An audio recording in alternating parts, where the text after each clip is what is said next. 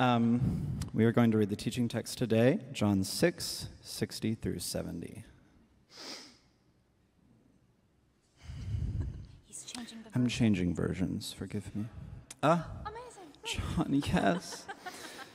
Okay. On hearing it, many of his disciples said, This is a hard teaching. Who can accept it? Aware that his disciples were grumbling about this, Jesus said to them, Does this offend you? Then what if you see the Son of Man ascend to where he was before? The Spirit gives life, the flesh counts for nothing. The words I have spoken to you, they are full of the Spirit and life. Yet there are some of you who do not believe. For Jesus had known from the beginning which of them did not believe and who would betray him. He went on to say, This is why I told you that no one can come to me unless the Father has enabled them. From this time, many of his disciples turned back and no longer followed him. You do not want to leave too, do you? Jesus asked the twelve. Simon Peter answered him, Lord, to whom shall we go? You have the words of eternal life. We have come to believe and to know that you are the Holy One of God. Then Jesus replied, Have I not chosen you, the twelve? Yet one of you is a devil. He meant Judas, the son of Simon Iscariot, who, though one of the twelve, was later to betray him. This is the word of the Lord. Well, good morning. Before we jump in uh, to this uh, teaching for today, I just wanted to take a moment just to honor the folks who built our prayer room. Uh, Emily and Isaac Gay back in the day, Ashley Hebert rolled in, Reagan, who's probably down with the youth. It is a rare thing to have a church community that prays. Every day, three hours of prayer rising up to God from the heart of our church, saying, Lord, we want you here. We want your presence, power, anointing in our lives, in our community, and in our city. And I don't want us to take that for a, a common thing. Much of the favor on our church comes from the painful place of obscure prayer.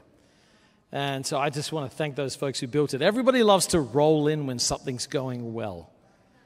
But the people who see it when it sounds like a crazy idea, who say, I'm that kind of crazy, they're the people I'm grateful for. So thank you, folks, for, for rolling in and making that happen. And I really do believe we're just in the early days of what it is that what God wants to do in our church through prayer. So I just want to encourage you uh, to press in and to make yourself available to the heart of God, the presence of God. You never know what happens in the prayer room.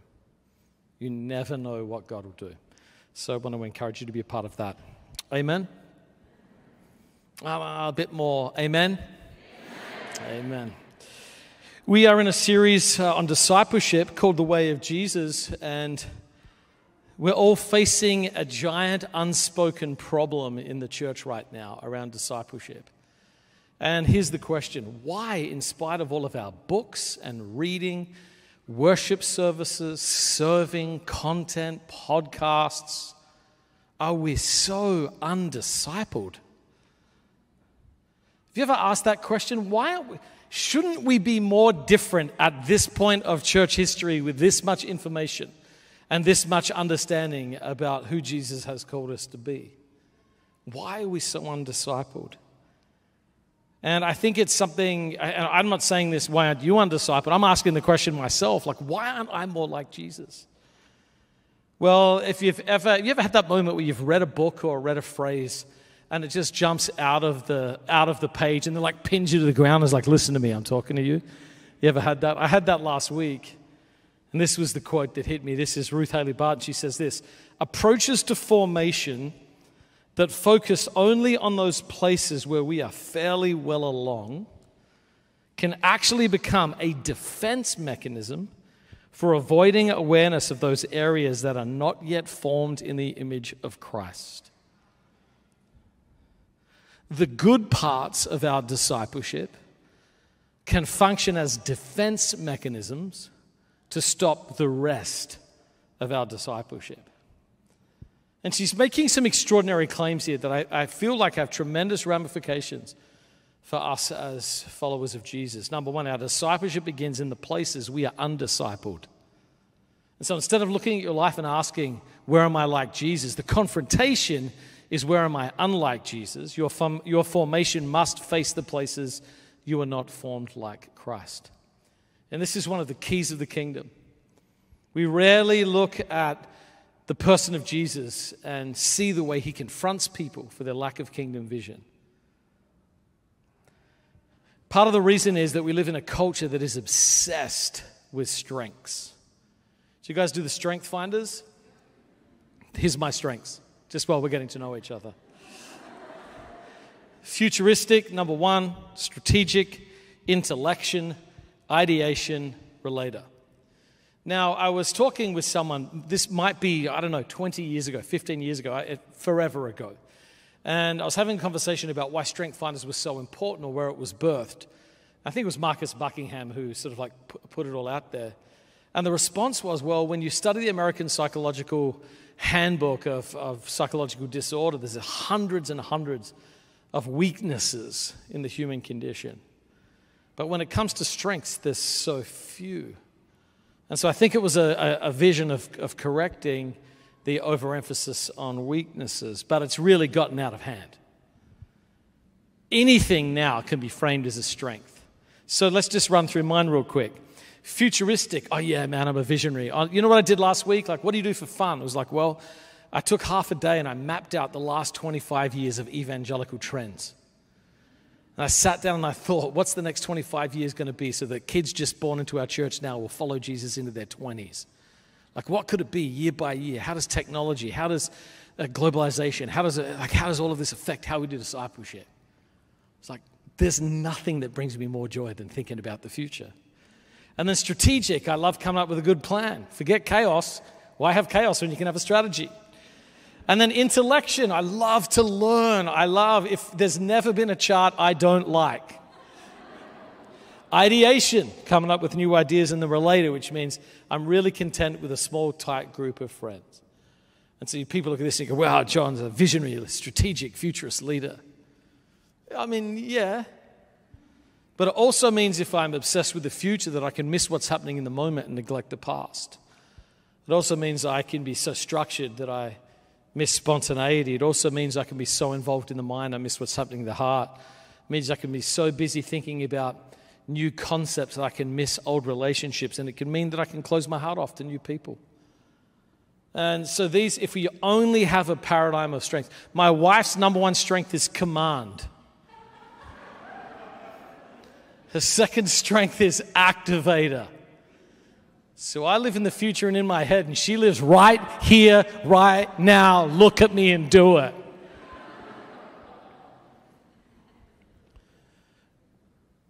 So much of what we do in the world is built on our strength. And the, the strategy is minimize your weakness, maximize your strength.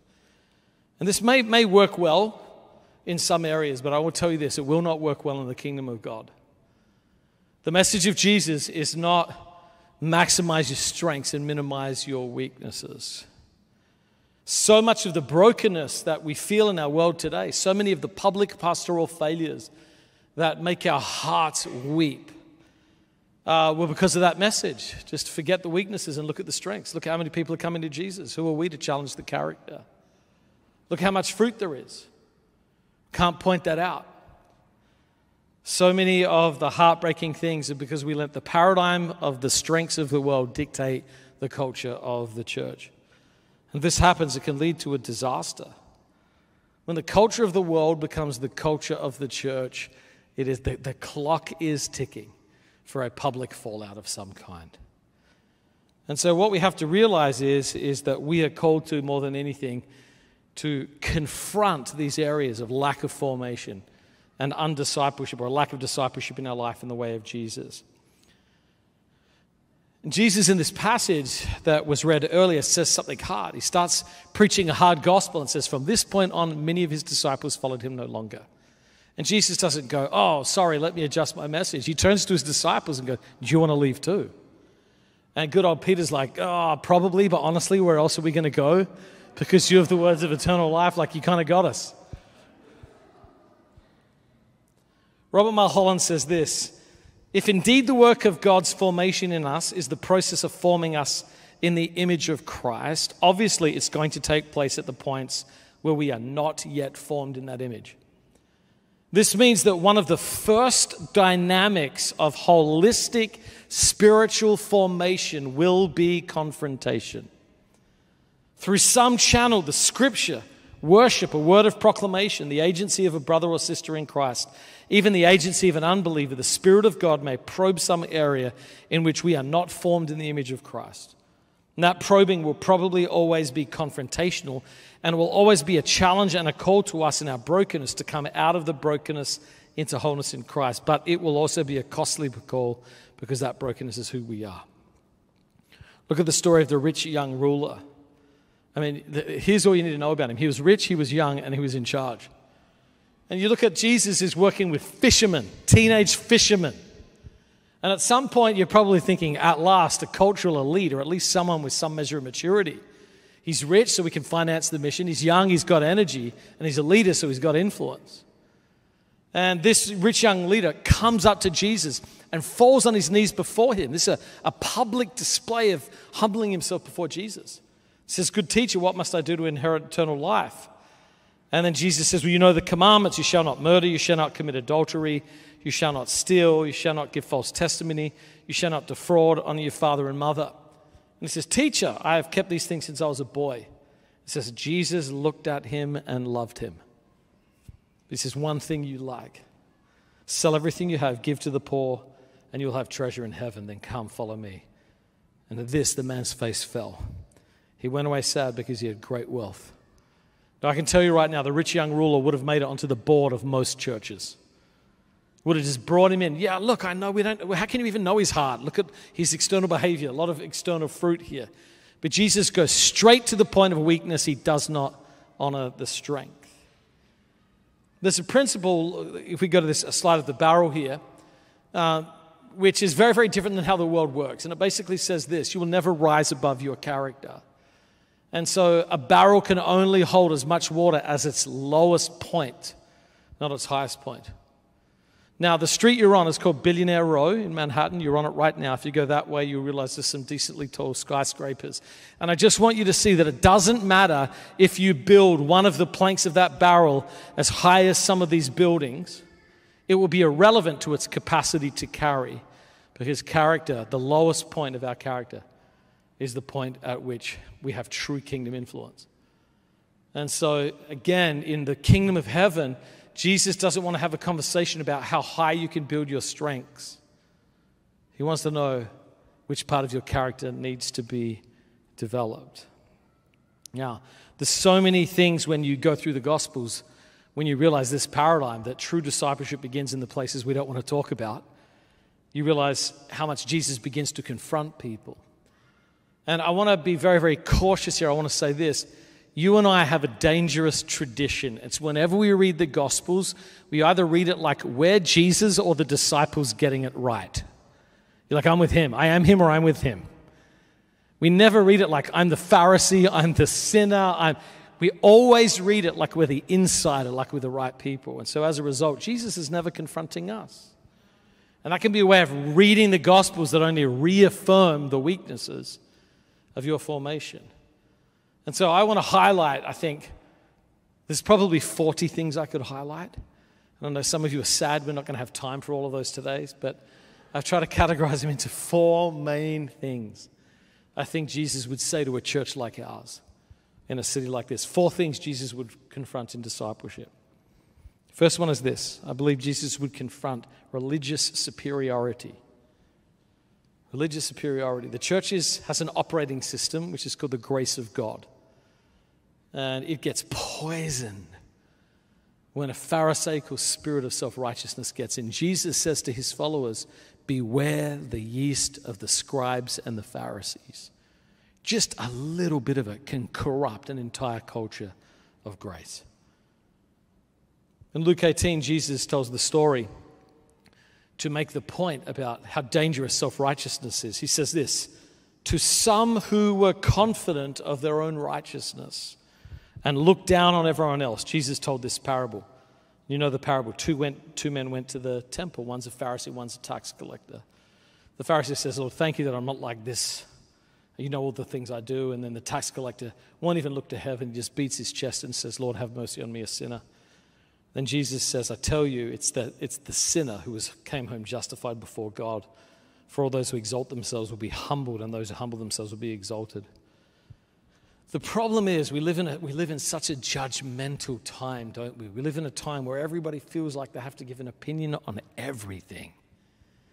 I'm often amazed at the breadth of the characteristic, or the breadth of the topics we perceive ourselves to be experts on. It's like we have strong opinions on international policies. It's like, you on international policies?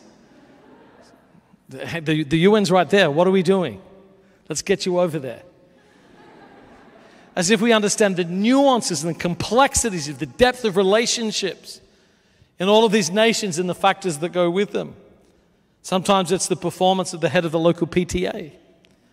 Sometimes it's the haircut of a favorite celebrity. Sometimes it's the way we judge people on surface levels. They're lazy, therefore I'm not going to help them. They're disorganized, therefore they're unreliable. They don't value theology, they're shallow. They don't watch their kids closely, therefore they're irresponsible. We could go on and on and on and on. But the fruit is we just live in a world that there used to be things called critics, and they didn't exist to criticize everything. They exist because they had a nuanced, well trained opinion on things. And now everybody's a critic, except we don't have the well trained opinions. We just have a spirit of judgmentalism. There's a certain restaurant which will remain nameless for the sake of my love for this great city. It recently made a switch from some of the world's best food to a vegetable only menu. And reading the New York Times review, I had a, a friend who worked there, a New York Times review, just a proper lambasting roasting of the new menu. Apparently, there's a secret meat room where if you like fill out the right form, they still get some meat for the rest of the year. But this, like when you read someone who basically has sommelier instincts and has spent their whole life training to appreciate a palate. And you watch him do a takedown, it's pretty breathtaking. How well they are trained to do it. We don't have those people anymore. We think we're those people. And it can be really bad in the church. Jesus says, Do not judge, or you too will be judged. From the same way you judge others, you'll be judged. And with the measure you use, it will be measured to you. Imagine all the criticism that you gave to others behind their back was given to you in public. Jesus says, what you, you determine the culture of criticism you receive in your life by how much uncalled criticism you give to others. He says, Why do you look at the speck of sawdust in your brother's eye and pay no attention to the plank in your own eye? This is one of Jesus' most famous, popular teaching and most neglected and misunderstood. How can you say to your brother, Let me take the speck out of your own eye, when all the time there's a plank in your own eye? You hypocrite, take the plank out of your own eye, and then you will see clearly. Jesus' whole point is this is that sin has a way of distorting our vision so we minimize our problems and maximize others. And his whole problem is like you shouldn't be judging people because you don't see clearly to judge them. So the work should happen internally. And it's a reminder the gospel points us inward to repentance, not outward to critique. And so to step in a church filled with godly people becoming like Jesus is to step into a community that is increasingly humble, increasingly self aware of their own sin and their own failures. Thomas à Kempis says this Be not angry that you cannot make others as you wish them to be, since you cannot make yourself as you wish to be. It starts with us. There is a young man that used to be in our congregation, no longer a part of our church. Um, but he was just, oh my gosh, he was, he was a finely tuned and gifted critic. And whatever you did, I mean, he was, you know, the problem with that verse from First Peter is taken out of context and you read it in the wrong translation. If you read it in the New American Standard Version, the emphasis would have been different. And so I feel like we lost the meaning of the text. And it's like, hey, man, we're reading God's word in the middle of worship, but let your heart get caught up in the living hope. The living hope. Certain people would preach and he would publicly walk out of the room to protest. And uh, gosh, spent so much time trying to pour into this young man. He was so critical. And I try to help him see from God's word. Can you see that all of your strong opinions are not matched by the, the kindness of your life? Well, that's just cowardice I was like, no, kindness is a fruit of the Spirit, mate. And then it turns out that in his spare time, he was going to massage parlors receiving sexual favors. And it was just one of those things that, that, it just made me realize sometimes some of the most judgmental people, the most self righteous people, are doing that because there is a wall within they cannot win, so they're projecting it outwards. And it's not always. Some people have genuine godly zeal, but a lot of the time, the critique is out there because we cannot change ourselves in here. And so often, this is the failure of the church. I'm always reminded of the president of the National Evangelical Association in a war against the legalization of gay marriage while he is taking crystal meth and having sexual relations with a gay prostitute. And it's like the, the loss of witness for the church when we don't get our own house in order. The gospel points us inward to repentance, not outward to critique.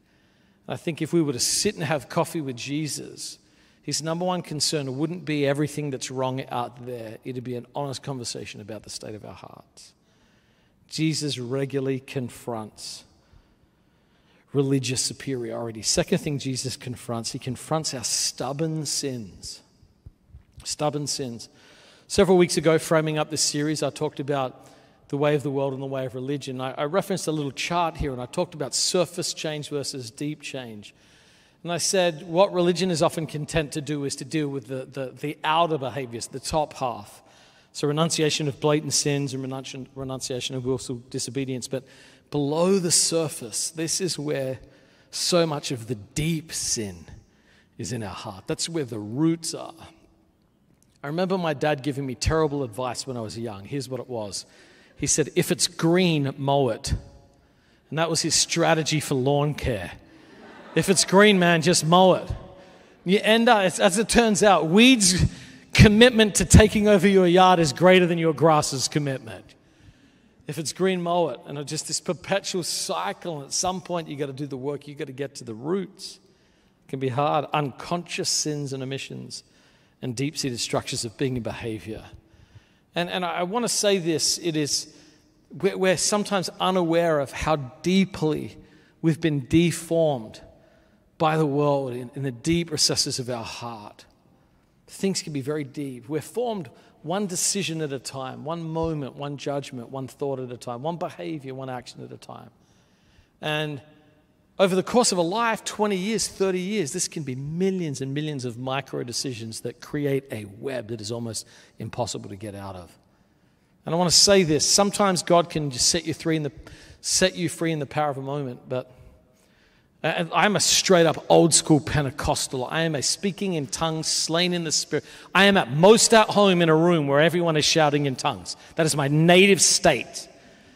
I'm like, if, if, and if there was some flags, I'd be really happy, okay? So if we had tongues and flags, I'd be like, thank you, Lord, these are my people. But to be honest with you, I'm, I'm more and more suspicious about those one off things that change us forever.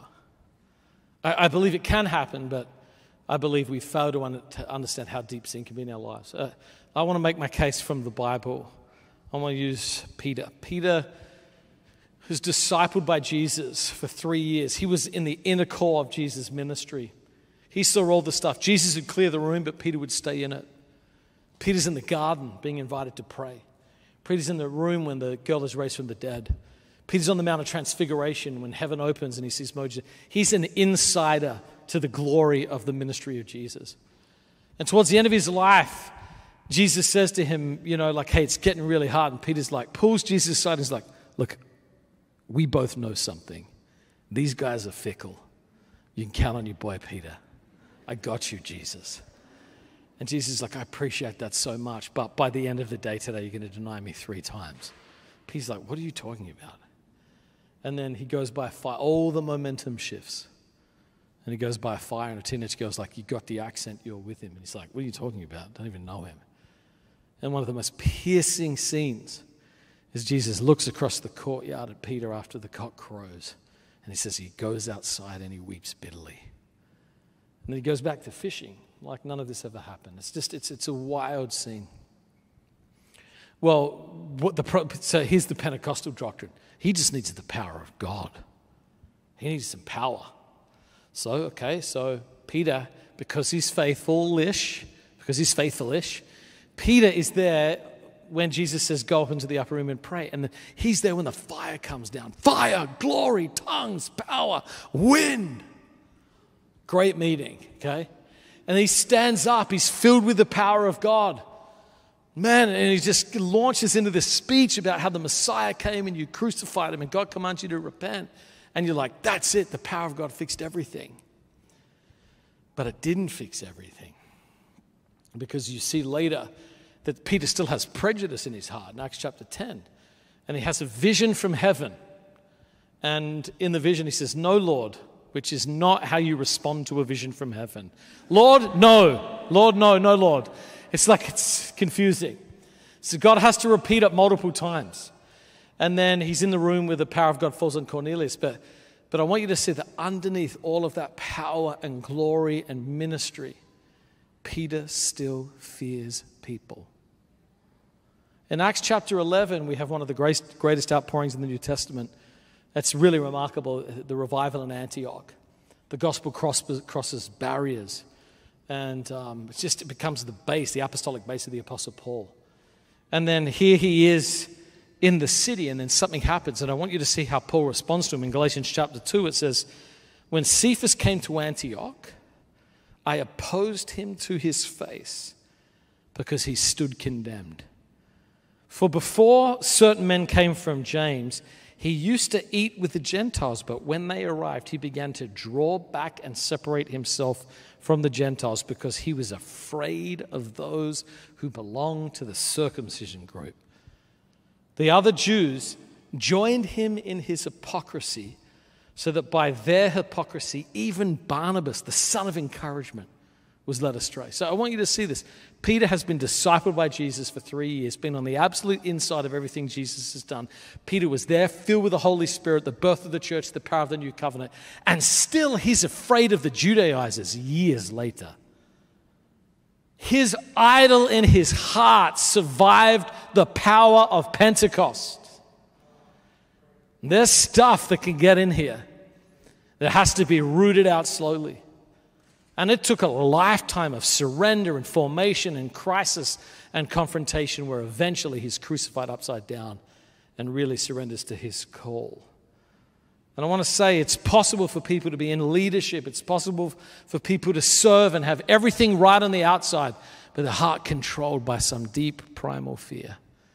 And I want to say this, it's, and, and by the way, very rarely in New York do people have A, enough time to watch your history because it's so transient to really map the deep patterns of your heart. And secondly, the margin to get in there and poke around because when you get in there, get that Gollum moment. It's like, it's just like my prash. It's like everything's fine until you touch the idol. You ever been in a conversation where you just see someone's whole being shift? And a lot of times you just think, I am going in there, not me. You're it. You know, it's like, but Jesus goes in because he cares. Elyse Fitzpatrick says this How can I tell if I'm worshiping the blessing that I desire or God? Let me summarize it this way if you're willing to sin to obtain your goal, or if you sin when you don't get what you want, then your desire has taken God's place in your functioning as an idolater. If the thing is threatened and you sin in response, it's a sign that something else is there. I think Jesus is committed to having a church filled with people who love him truly from their innermost being.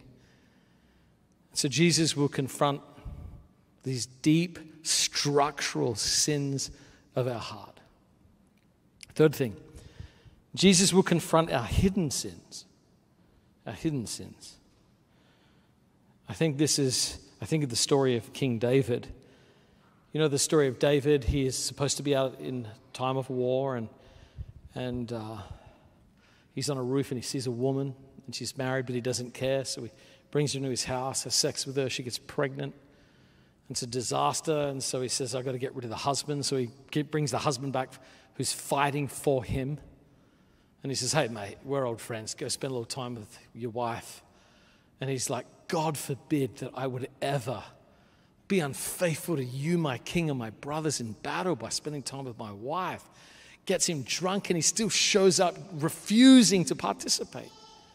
So David says, Thanks for your loyalty, kill him. And has him killed in battle. And for all intents and purposes, David feels like he's gotten away with it. Oh, Uriah's dead. That's tragic. And anyway, well, he's got a widow. I'm the king. I better take care of her. She's pregnant. Well, I'll take care of the kid too. Just kindness of my heart. He's moving along with his life like everything is fine.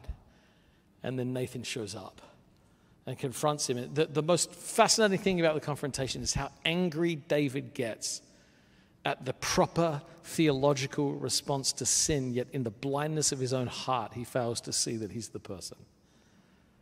And so he, he, gets, he gets attacked, and then he gets hit very hard with the truth of what's happened. Then he responds. And there's, there's, there's, there's a thing in human psychology that says if I did it a while ago and I sort of forget about it, it's done with. It doesn't work like that. Now, I've been here in New York for 16 years, almost a New Yorker at some point, and um, I've never had a speeding ticket. Mm-hmm. Except during the pandemic, there was no traffic. I got my E-ZPass cancelled for suspended for six months. Some of you are like, can you even get an E-ZPass suspended? Oh, you can. You can. And so I got over a thousand. Like they didn't tell. They don't tell you that it's suspended. They just fine you sixty-five dollars every time you pass a toll. So when I get the thousand dollar plus bill, I'm like, something's not right with my E-ZPass. So I, I call them, call this number, and they say, Well, you, you sped through the Lincoln Tunnel. And I'm like, Because I'm a pastor and it's a pandemic, and I've got to get to my peeps who are in need. got to serve the people. I said, Look, you can check my. So, by the way, they, they do, they give you a warning, they give you a 30 day suspension a 60 day suspension, a six month suspension, and then they can't, you're banned from E-ZPass. I'm like, how fast was I going through the Lincoln Tunnel? You seen those videos when the Porsches do 200? Fast. Didn't feel fast. There's no, it felt like a video game. There was no traffic. So I call the E-ZPass people, and I'm like, I've got people skills. These people, like, people just call them and scream. I'm going to say, hey, it's probably been really stressful during the pandemic. I want to say thanks for all you do. I know it's been really hard.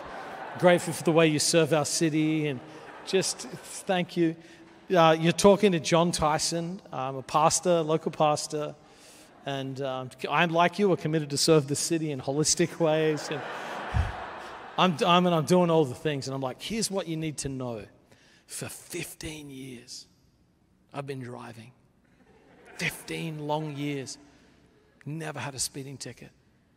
God be praised. And um, so I'm just wondering if you can do me a solid. By the way, I never plan to get a speeding ticket again. So if you can, how about like all of my good non speeding cancels out that one moment of horrific speeding? And we just like, if we can put it on a scale of like how much I speed versus this one moment of weakness.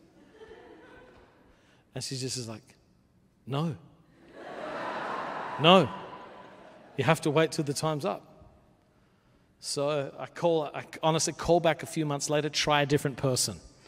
Hey, it's been a few months. I've really been reflecting on what you guys said to me, and I'm a lot more in alignment than I thought I was at the start. However, as we're coming out of the pandemic and there's a lot of mental health issues with people, I want to be, you know, I'm trying everything.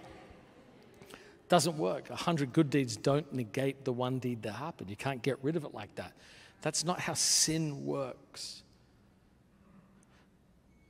I, I had a friend who sat down with me once and he went into sort of like a recovery program, one of the uh, anonymous programs. And I've known this person for 20 years. And he said, I need to talk to you about some really serious things. And I said, What's that? And he said, Well, you know, I've been struggling with addiction. You've known that. But one of the steps is doing a sort of like a ruthless moral inventory about the people I've sinned against. And I've you know, lived with you for a while, very close to your family, and I just, I need to ask for your forgiveness. I want to confess some stuff. And I just remember, like, some of it I knew, some of them I didn't know, but I was like, this dude had the fear of God on him. And it was so serious, it was so intense. I thought that's, that's, that's what it is, that's what God does. It's when He really convicts us and He confronts us. We're not going to say, well, it was a long time ago. All sin, unconfessed sin, is present in the sight of God. You read about times of revival. Let me tell you right now, in times of revival, what, what, people's description of revival is every unconfessed sin I had over my whole life was present in a moment, and I thought my soul would collapse. And that's God's mercy because He knows there's no joy in burying our sin, there's no joy in forgetting it or glossing over it. And so He convicts us and moves us in. And I think it's an important point that I want to say this you can leave this church, you can go to another church, you can go to another city, you can go to another community. But if you've got an unconfessed sin and the Holy Spirit's put his finger on it, you will literally be at the same spiritual point, even if you try and reinvent your whole life. You will never go on to maturity beyond the point the Holy Spirit has convicted you of a sin. And so we've got to, we got to be honest and we've got to say, Lord, even I need this ruthless, fearless, moral inventory of my heart. And it amazes me how when people really experience the power of God, this is one of the things that happen. God gets to the hidden sins. And then lastly, what God does is I think He confronts some of the things we tolerate. Every city, every church, every town has a different culture. And there's this very simple principle called enculturation, where it's just basically like the culture, you become one of us, the culture gets you. I've mentioned this before. But when you're in it, it can just seem so normal after a period of time you can forget it. And it's not till someone from outside looks in that you get a different perspective. And this is what happens when Jesus gives people feedback about what's happening in their church. In Revelation 2, he's talking to the church at Thyatira and he says this I know your deeds, your love and faith, your service and your perseverance and that you're now doing more than you did at first. Nevertheless, I have this against you. You tolerate that woman, Jezebel. Now, at this point here, you're like, let's just do a quick recap about the things you've said, Jesus. You know we're busy. You know that we have love and faith. We are serving you. We're perseverant. We're doing more than we did at first. Yeah? You're welcome, Lord Jesus. But he says, No, but I've got this against you. You tolerate that woman, Jezebel, who calls herself a prophet. by her teaching, she misleads my servants into sexual immorality and the eating of food sacrificed to idols. Leadership people often say you get what you tolerate, not what you want. And I think that's true. We are, our culture is defined by our minimum standards, not just our aspirations. And when you live in a place like this, it's amazing how quickly certain sins get tolerated. Pornography, pornography addiction is just normalized. Pride, normalized. Worldly ambition normalized, hatred normalized. And it's so hard to be vigilant. Slowly, your convictions just get chipped away at, and then you start going, Well, at least I'm not like them. I mean, I do this, but at least I'm not doing that. And we can forget that our standard is Jesus' vision for his church, not just our willingness in our cultural moment to follow him. If you go different places, you realize there's so many things chipping away, and it makes me ask, Lord, what am I tolerating? What am I tolerating that if a saint from another generation popped in, they would just be like, Yo, Jon, what are you doing, mate? You're a pastor. Like, you, you can't do that. What are you tolerating that people from different times in history would say, like, hey, just so you know, you think that's normal, that's not normal in the kingdom of God. I think no matter how much momentum we have as a church. And I'm so grateful for where our church is coming out of COVID. So many churches struggling. I feel like we're in a position of strength, mainly because of the prayer culture. But it's like we can get carried away to our blind spots because of our vision and all of the good things happening. I think Jesus would still walk amongst the church and he'd say, Yeah, but there's too much New York in this church. When worldliness gets in the church, it kills the church. Now, at this point, some of you are like, this is my first time. This is heavy. Oh, you're welcome. I love you too. Honestly, so, I'm, so I'm, I'm, this is a revelation that's happening to me like two weeks ago in my own devotions. I'm just sitting here going, oh gosh, I am a strength finder and lover. Oh God, I feel like you're coming in and you're exposing some of the low places of my character. And to be honest with you, there can be a fear of confrontation in our world today. You're just like, oh gosh, like. And I thought, like, I try to get in touch, like, with my inner man. Like, what are, what are the feelings that come up whenever, whenever uh, this sort of confrontation comes? Well, the first thing you feel a sense of shame. Like, to be honest with you, sometimes I'm embarrassed. I'm like, I've been a Christian for 26 years. I thought I'd be more like Jesus at this point. Like, gosh, is at some point do I just like get Wesley's vision of like Christian perfection and just go from strength to strength, glory to glory? You know, I just like got old Pentecostal verses in me and I'm like, why aren't they working for me? There's something fundamentally wrong with me, a sense of shame. So I'm afraid for Jesus to really confront me. And sometimes I feel inadequate. You know, New York's an intimidating place and everybody's faking it. They're faking it or they're full of pride. Both ways, it's not pleasing. And so it's like, oh gosh, what if people really see that I'm inadequate, that I don't have what it takes, that I've been pretending and I've been hyping it up? What if, what if, what if people learn in the church or in my group, I don't have what it takes? And then ultimately, I think the deep fear is a sense of rejection. It's like, it's one thing when the world rejects you, you kind of expect that, but if the church rejects you, it's like, oh, that pain is so deep. You feel any of that? If I feel this sense of heaviness, but, but I know it's true and important, yet I have this sense of concern about it really happening in my life. Well, one of the things, and I think this is the, the good news, is that we're not just confronting each other like the world confronts, like, you know what, I want to, I want to have a tough conversation with you right now. And was like, I don't want to have that. I don't want to have that. This is Jesus conversations are all motivated by love for you. All confrontation in the way of Jesus is a confrontation of love. It's the kindness of God that leads us to repentance. God knows our eternal destiny, and He knows these small things, if not confronted now, could sabotage our future. You look at some of the public pastoral failures. Don't you wish someone confronted them a little harder, a little earlier?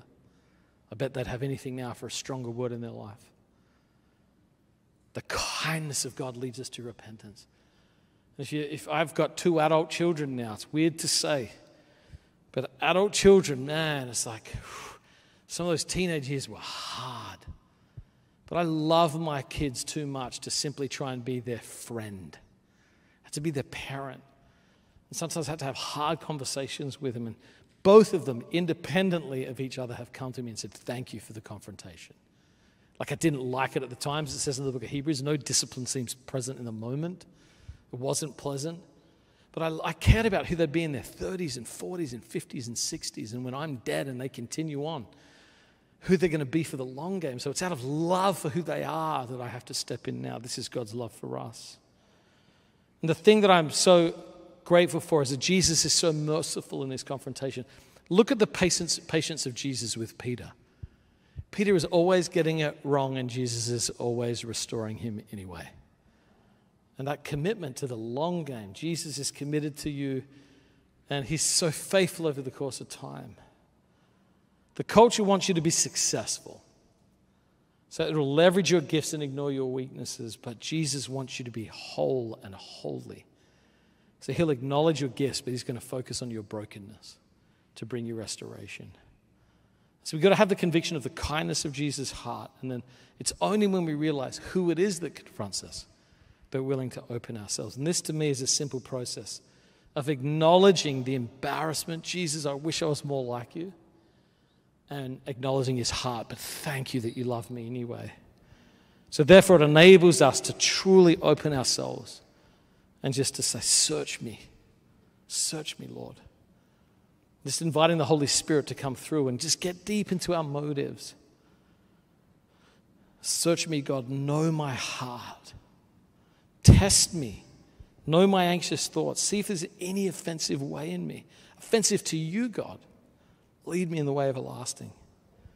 So we have to be willing to really invite God into those deep, those trust structures of the heart, those deep, unexamined things that no one talks about. Holy Spirit, I invite you in.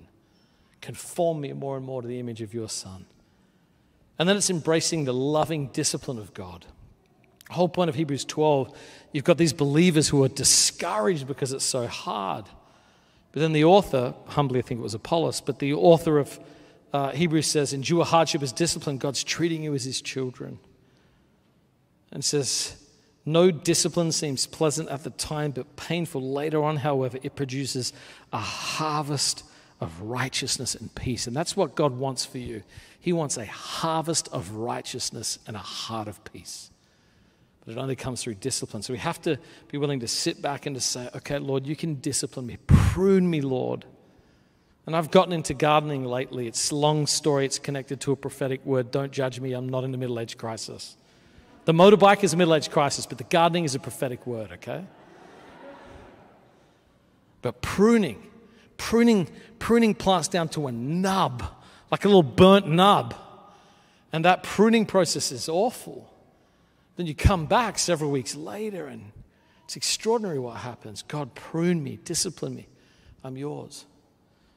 And then ultimately, it's learning to do this with a non defensive spirit. Defensiveness shuts down the activity of the Holy Spirit in your life. Defensiveness will stop the work of God. There's a picture here by Angelica Kauffman, and it's a picture, it's Angelica Kauffman. It's, it's David being confronted by Nathan. I love this painting. The power dynamic here is the prophet towering above the king if you study body language like that, that is like a full blown accusation body posture, the pointed finger. But what I love in this picture is David's heart. Look, look at his body language. He's just kind of like this. He's like, You got me. You got me. I'm the man. And this posture, this sort of openness, the, the humbling of the head for a king, the raising of the hands in non defensive recognition well, God can do anything with that attitude. And one of David's darkest moments goes on and gives us one of the most beautiful revelations of Jesus' restorative power. He's going to end up saying, Have mercy on me, O God, according to your unfailing love. In your great compassion, blot out my transgression. In the Old Testament, there was no forgiveness. There was, no, there was, sorry, there was a death penalty for murder and adultery in the Old Testament. David was done. And yet he reaches into the mercy of God, into the new covenant, and pulls it back into his moment by understanding the heart of God. Blot out my transgression. And he says, then, then I'll be able to teach sinners your way. It's an amazing image of restoration. See, there's always a choice. A defensive spirit will lead to disaster. You go somewhere else and God will just wait. God's so much bigger than your ability to run from Him. He'll be wherever you go next. He'll be in whatever relationship you're in next. He'll be in whatever job you're in next. And he'll just be patiently waiting, saying, Let's talk about that. Because I want, I want a harvest of righteousness and peace for you. And so let's be people who, not like Judas, who lose all hope. Let's be people like Peter who are perpetually restored in spite of our many shortcomings by the mercy of Jesus. So, next slide here, if we just go back to the barrel I just want to say when you think about discipleship, a lot of you have built discipleship around your preferences. You go to churches that you like, you listen to worship that you like, you listen to teachers that you like, you read books that you like.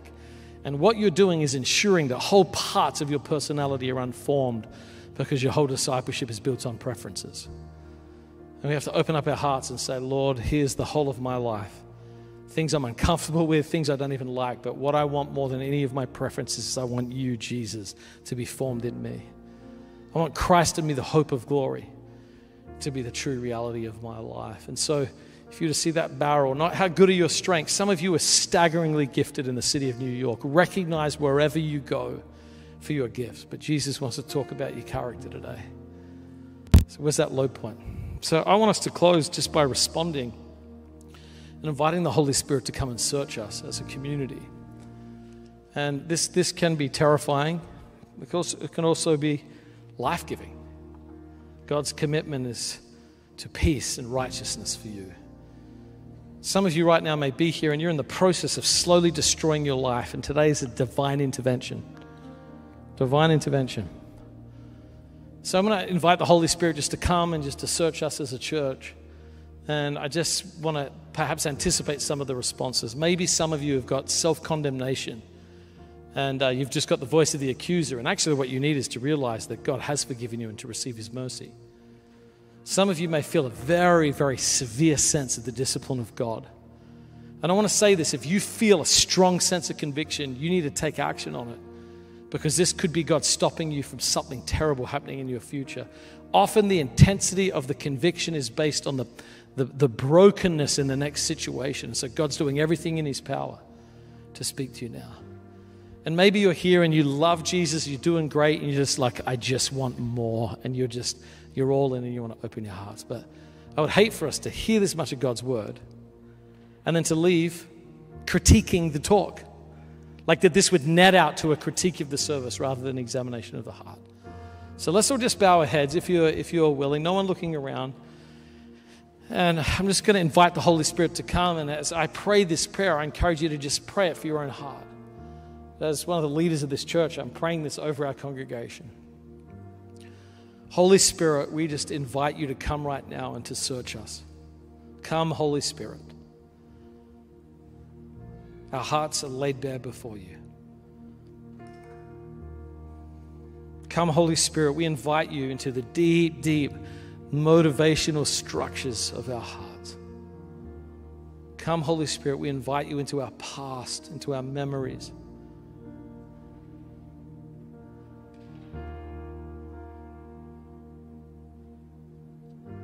Holy Spirit, we just yield our hearts to you. We yield our spirits to you. We just pray you would bring to the surface things that we've forgotten or overlooked. We pray that you would sensitize us to holiness and to the ways that we've compromised with the culture. Lord, it is our desire not to be a church just known for its strengths, Lord. We want to be a church that is known in heaven for its character. We want to be a church that you can trust. We want to be a people that can steward your spirit and your gifts and your goodness. So, Lord, if there's anything that is stopping us, we just bring it into the light right now. And we just ask you, would you forgive us, Lord? Forgive us of our sin. Forgive us of our neglect. Forgive us of our pride. Forgive us of our lust and anger. And Lord, I just pray right now that you would increase the intensity of your spirit for Jesus' sake. Lord, if there's any way we've been avoiding you or getting around it or minimizing, or as it says in Romans, suppressing the truth in unrighteousness, Holy Spirit, we just pray, increase the intensity of your conviction and challenge.